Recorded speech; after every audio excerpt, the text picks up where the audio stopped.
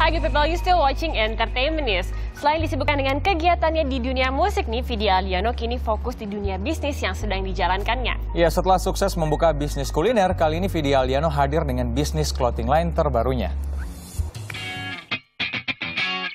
Vidi Aldiano, pria kelahiran 29 Maret 1990 ini termasuk dalam salah satu selebriti yang sukses. Terbukti di usianya sekarang, ia sudah memiliki tiga bisnis di bidang yang berbeda. Sebut saja VA Management, lalu bisnis kulinernya di daerah Jakarta Selatan. Dan yang terbaru adalah clothing line. Vidi memilih VA Apparel sebagai nama brand clothing lainnya. Ia pun menjelaskan kalau produknya sangat menggambarkan kesukaan Vidi saat produk tersebut diproduksi.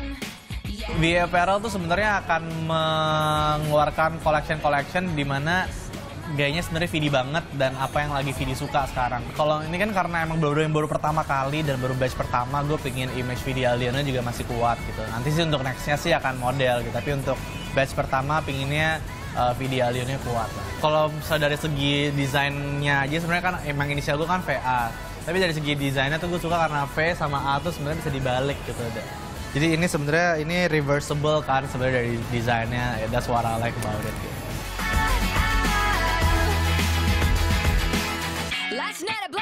Semuanya gue ngerancang sendiri uh, untuk ini kan keluaran batch pertama. Batch pertama ini adalah gaya-gaya gue waktu di UK kemarin sih. Jadi ini semuanya terinspirasi dari cuttingan-cuttingannya tuh semua itu dari uh, UK style. Jadi kayak potongan-potongannya kenapa emang agak-agak sedikit uh, overlength atau kayak uh, panjang belakangnya atau kayak desain-desain segala macam itu emang terinspirasi dari fashion-fashionnya UK gitu. Tapi uh, gue fusion dengan Indonesia, that's why kayak tadi ada jaket gitu satu jaket gitu di sininya tuh sebenarnya tuh naskah proklamasi gitu atau tadi gue di belakang gitu ada ada satu kaos gue di mana belakang belakang tuh nama nama presiden kita dari zaman dulu sampai Jokowi terakhir gitu kalau yang di belakangnya tuh ada kayak gambar-gambar itu sebenarnya tuh gambar-gambar apa ya landmark landmark Indonesia gitu. Ada Candi Borobudur ada Monas ada uh, pura di Bali segala macam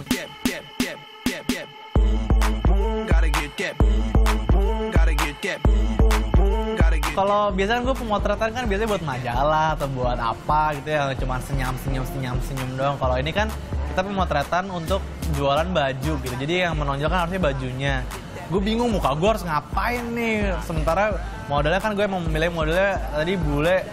Dia yang terbiasa dengan fierce fierce segala macam gitu. Gue muka fierce gue kayak aduh gue gue nggak bisa muka kayak gini. Jadi gue aduh gue nggak biasa nih foto kayak gini gimana gue harus ngapain? Jadi tadi sempet kayak aduh gue ngapain nih? Gue ngapain nih?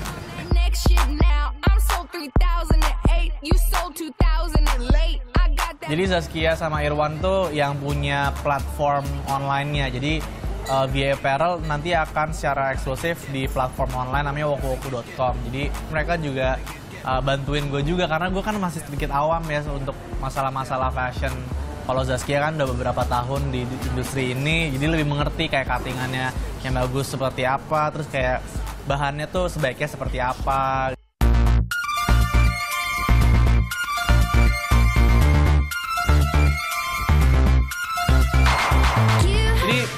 Sebenarnya kayak didikan keluarga dari kecil sih. Maksudnya gue dari SD, gue bertiga tiga saudara laki-laki semuanya.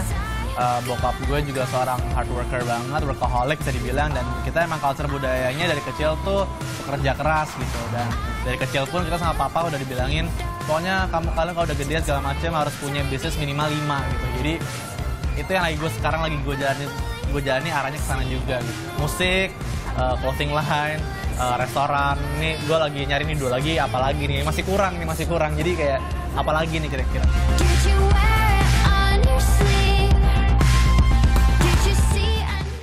Nah, good people, kalau ngomongin Vidi Aldiano nih, selain juga dia lagi sibuk dengan bisnis clothing lainnya ini, dia juga nanti uh, kemarin sempat di interview juga dia lagi hmm. me, apa, mempersiapkan album terbarunya yang nanti wow. rencananya akan rilis di tahun ini dan menggandeng beberapa artis yang akan bekerja di belakang layar. Produktif gitu. sekali ya, pokoknya sukses terus untuk Vidi Aldiano.